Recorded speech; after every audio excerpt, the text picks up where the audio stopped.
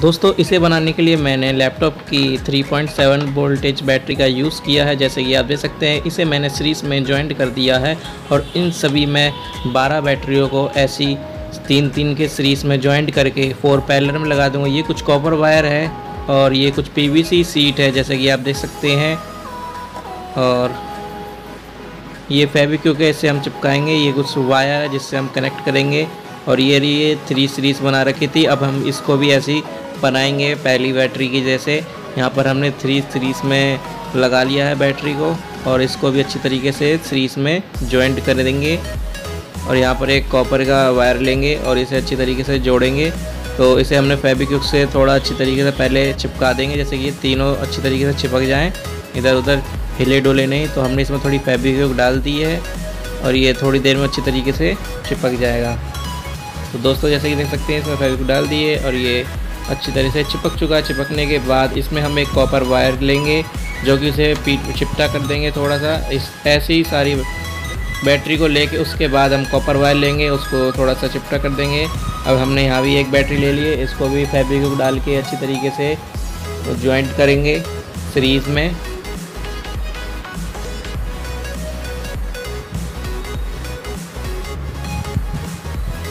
इसमें भी हम फेविक्विक डाल देंगे अच्छी तरीके से। जैसे कि आप देख सकते हैं, ये अच्छी तरीके से जुड़ जाएगी।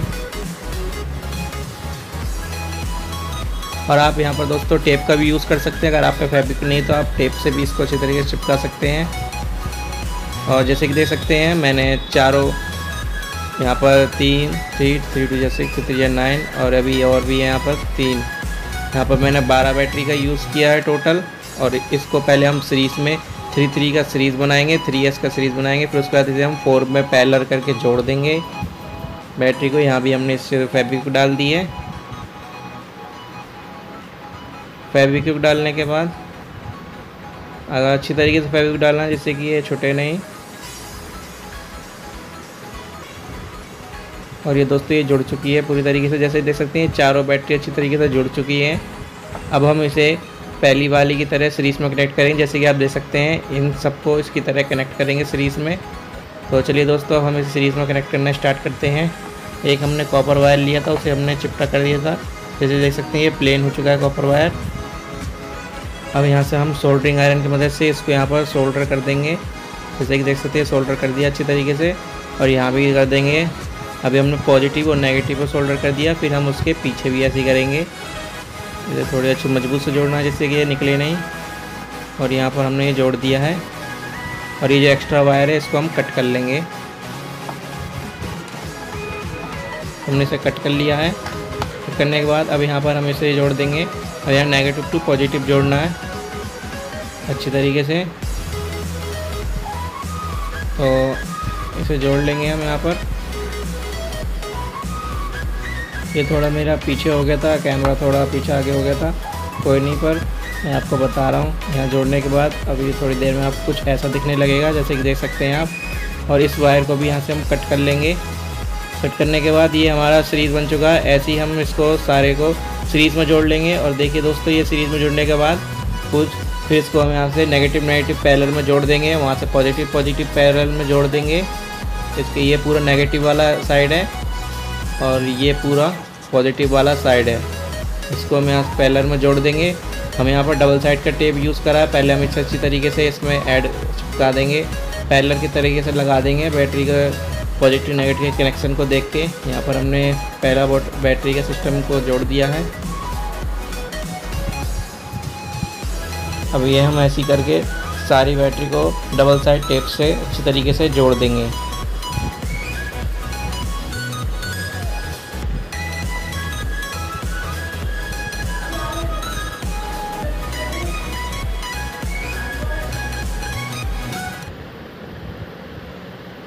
दोस्तों, जैसे कि आप देख सकते हैं, ये अच्छी तरीके से जुड़ चुका है।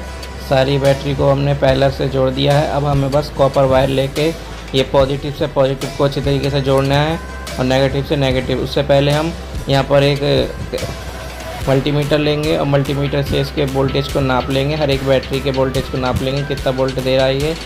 जैसे कि देख सकते हैं एलेवन पॉइंट वन या फिर टेन पॉइंट वन दे रहा है, क्योंकि थोड़ी डिस्चार्ज हो सकती है ये।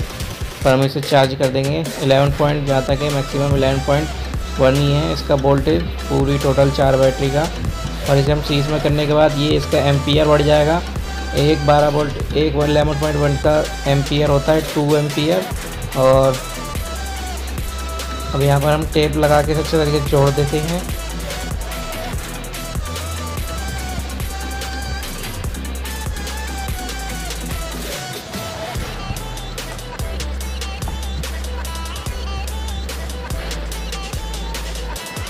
ये दोस्तों बैटरी लाइफ टाइम चलने वाली है। इसमें कोई भी बीएमएस का हमने यूज़ नहीं किया है।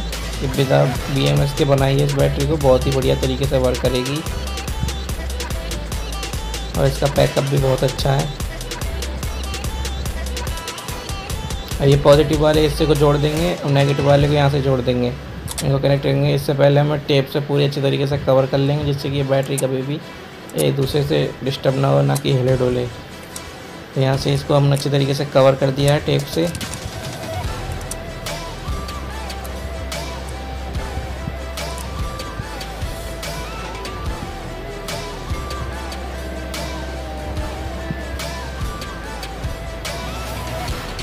अब दोस्तों हम यहाँ पर वायर लेते हैं और इसको अब अच्छी तरीके से जोड़ देते देख सकते हैं।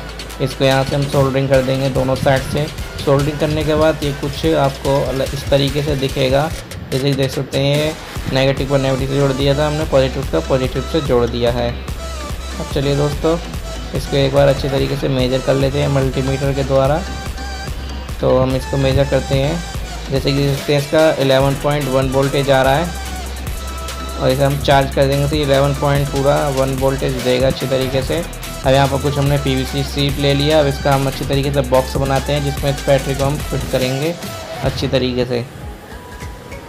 तो दोस्तों, जैसे देख सकते हैं, इस बॉक्स बनाने, बनाते हैं। इसको हम फेविक का यूज़ करेंगे, जिससे कि चिपक जाएगा ये।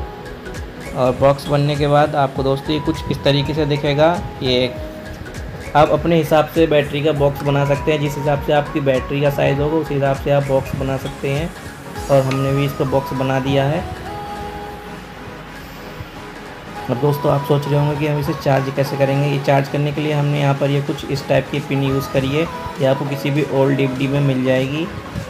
और यहाँ से हम इस पिन को, इस पिन का डायग्राम हम आपको डिस्क्रिप्शन में दे देंगे और इस पिन को ऐसे कनेक्ट करना है। हम बताएँगे आप कैसे कनेक्ट करना है। तो यहाँ पर हमने ये होल कर लेंगे सोल्डिंग आयरन की मदद से और इस पिन को अच्छी तरीके से यहाँ सेट करेंगे। हाँ ये सोल्डिंग आयरन से हमने इसको होल्ड कर लिया है। और यहाँ से हम पिन को निकाल निकाल के इसमें होल कर देंगे।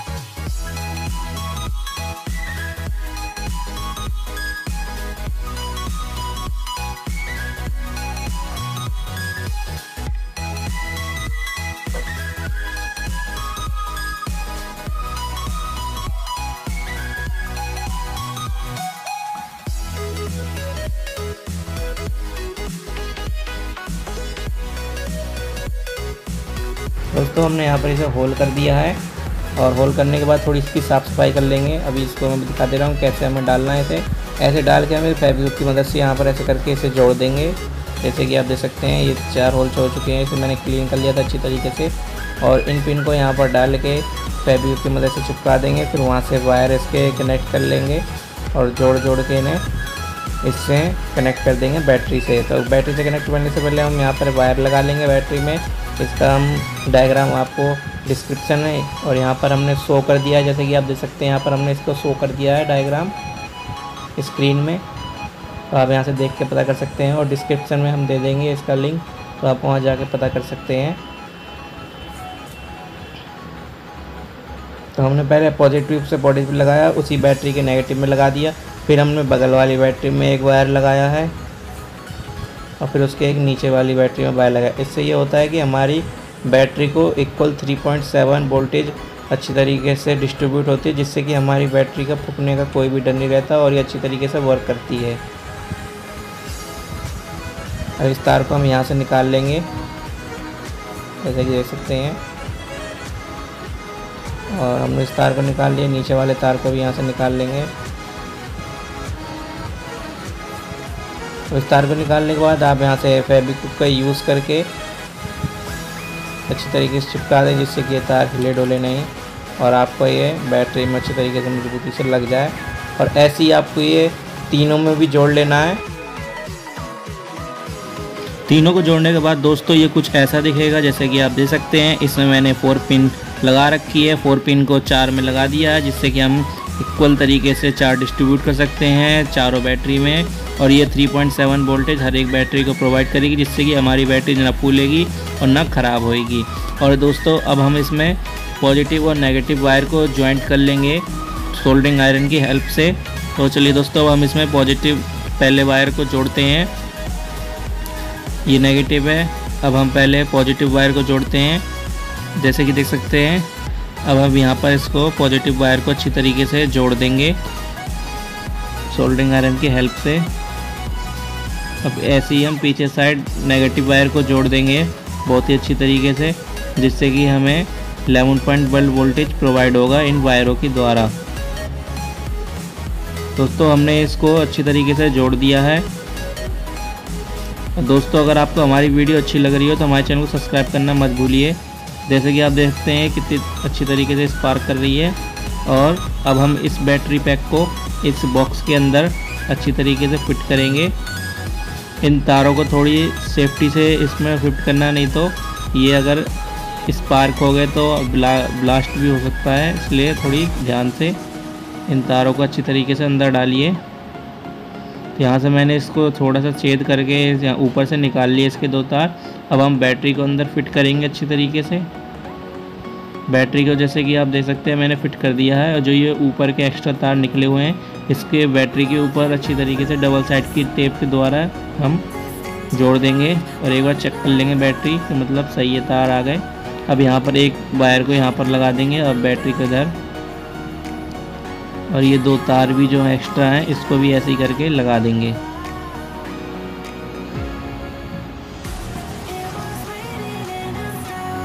जैसे कि आप देख सकते हैं, ये बैटरी पूरी तरीके से पैक हो चुकी है। अब बस हमें ऊपर का साइड का एक पीवीसी के पाइप की सीट चाहिए होगी, जिससे कि हम बैटरी को अच्छी तरीके से कवर कर देंगे।